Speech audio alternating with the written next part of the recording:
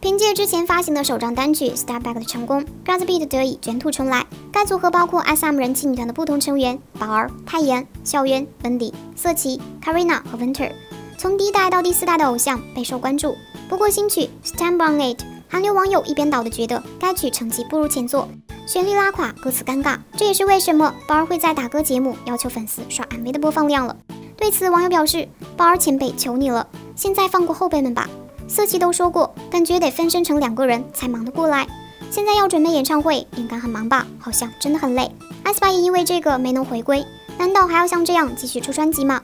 更有人说，Step Back 虽然因为歌词引发了不少争议，但是歌曲本身可比这首歌强多了。就连粉丝都不买账，成绩当然不会好。